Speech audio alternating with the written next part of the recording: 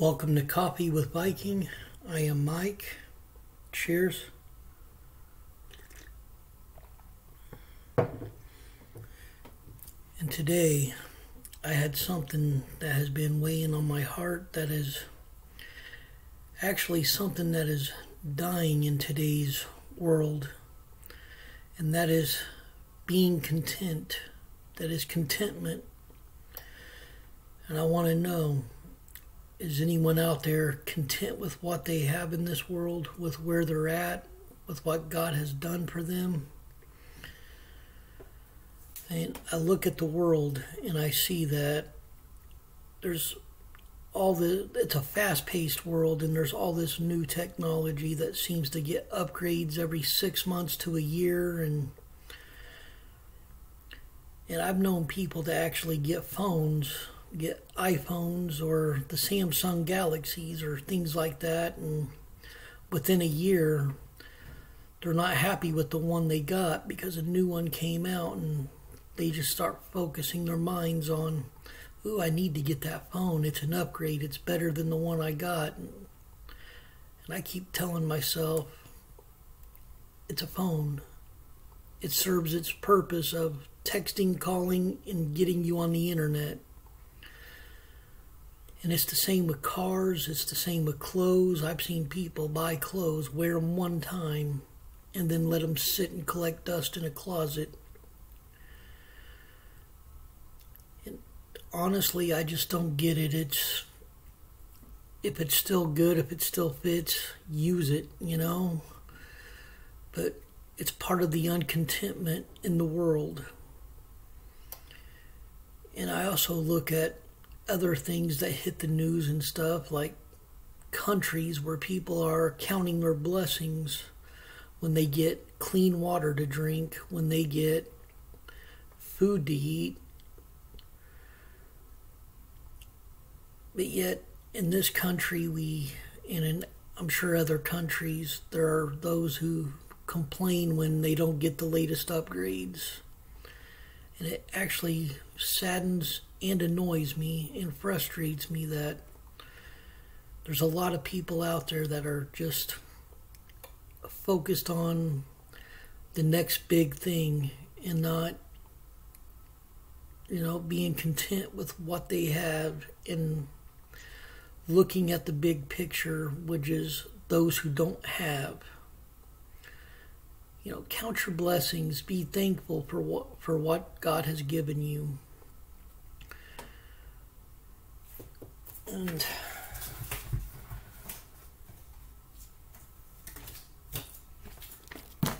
in, in 1 Timothy 6, 6 through 10, it says, But godliness with contentment is great gain.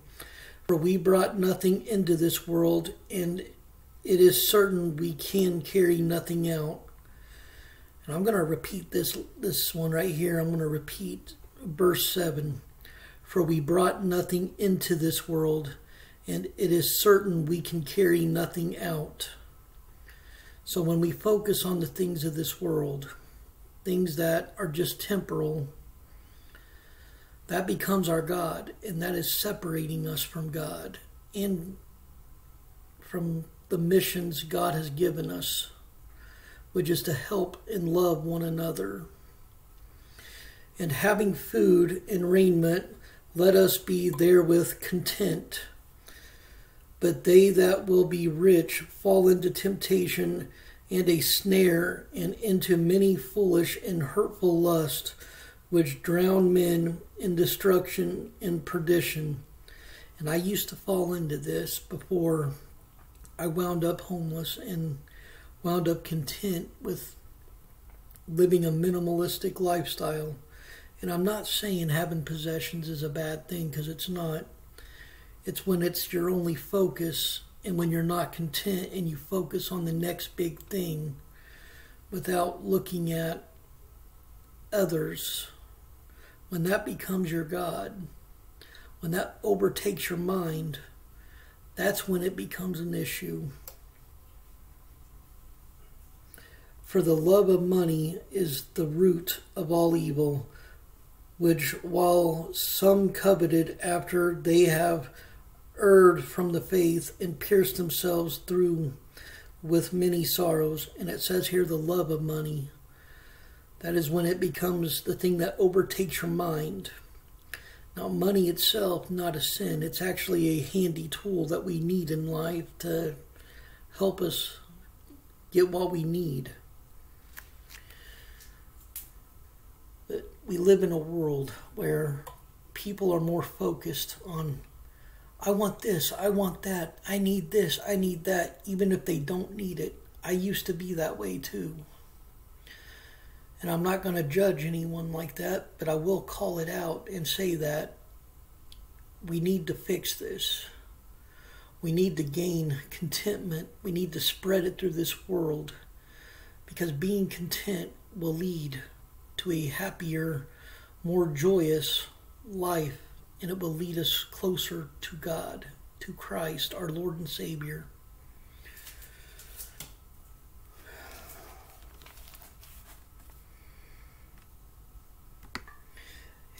And in Philippians 4 12, it says, I know both how to be abased and I know how to be abound. Everywhere and in all things I am instructed both to be full and to be hungry, both to abound and to suffer need. We need to focus on the needs of others as well as our own, but we need to put others. And if it leads to us in a temporary suffering to help another person, that is of Christ. That is what we are called to do, is to put others above ourselves.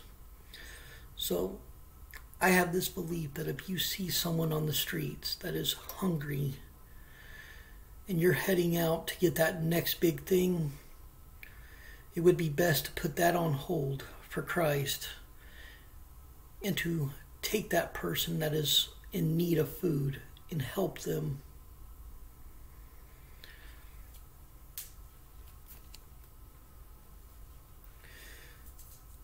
God has called us to not only serve Him, but to help each other.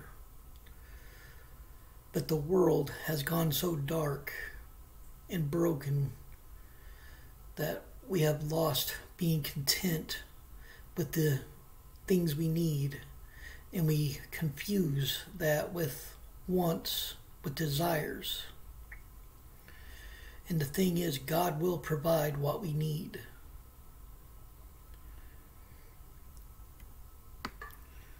In Hebrews 13:5 it tells us let your conversation be without covetousness and be content with such things as ye have for he has said I will never leave thee nor forsake thee so even if you do not have the means to get what you need trust in him. It's like I was saying yesterday about godpotence put it all in him and in that confidence, He will provide. But we need we need a heart transplant. And I see it in the Christian faith too. Not everybody, but there are some in the Christian faith that are don't live in contentment, that actually are chasing after the next big thing and not putting all their hope, trust, and faith in Christ that He will provide for them.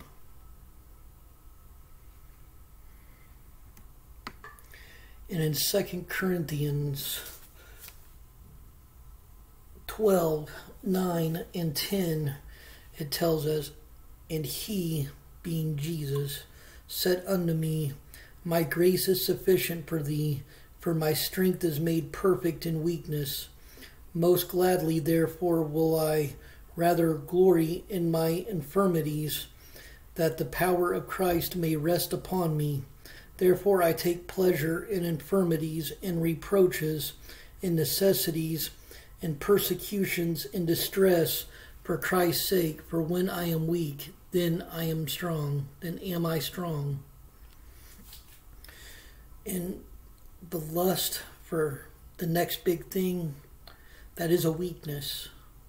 is up here. It is it falls under the category of greed and also pride because you want to show off that next big thing. I mean, it's human nature. And this here is telling us that let go of that human nature, give everything to Christ. And in our weakness, He will make us strong. He will show us the paths we need to take. Trust in Him. Even in the persecution of the world, don't rely on what other people think of you. Rely on what God is doing for you. Rely on the thought that is this choice I made pleasing Him? John 13 and 14 tells us this Jesus answered and said unto her, Whosoever drinketh of this water shall thirst again, but whosoever drinketh of the water that I shall give, which is the water of eternal life, him shall never thirst, but the water that I shall give him shall be in him a well of water springing up into everlasting life. And the water he's referring to is the Holy Spirit. It is eternal life. It is our name in the book of life. So that on the day of judgment, we get into the kingdom of heaven through our faith. Our faith in Him, not in what this world can offer, but in what He is offering. And this is why He wants us to be content, because He is our provider and he is make, he will make sure if you put your faith in him that you will be taken care of not only in this life but in the next Matthew 5 6 tells us, Blessed are they which do hunger and thirst after righteousness, for they shall be filled. Now, when we hunger after the thirst and the righteousness, that won't take away all that we see in this world that takes over our eyes. Satan is a sneaky being that will make us lust after the things we do not need. He will even convince us that we need them and then to brag about them because we care what other people how other people perceive us, what they think of us. But when we care more about pleasing God and not the world, then we hunger after thirst in righteousness, and we gain in wisdom, in God's wisdom. And that is where we start to gain our salvation through Jesus Christ and get filled with that Holy Spirit.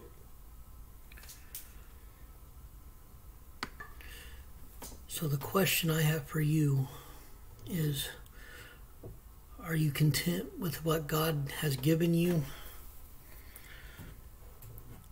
Or are you still focused more on the worldly gain than on Christ? Because anything we put in front of God becomes a God to us in our hearts.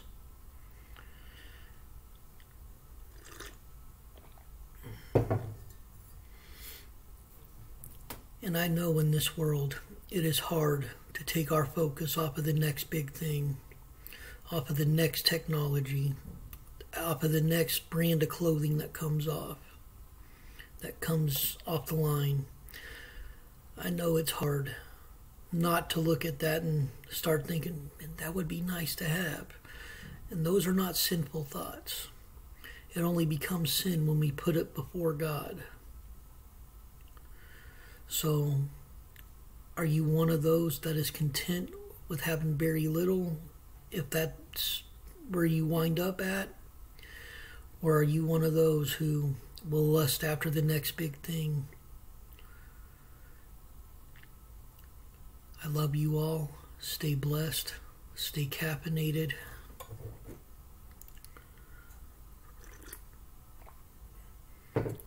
Put your trust in the Lord. Be content with Him because He will keep you full. He will take care of you in your times of need. He will lead you through every storm. Just humble yourself to Him and be content. Much love. God loves you, and He is there for you.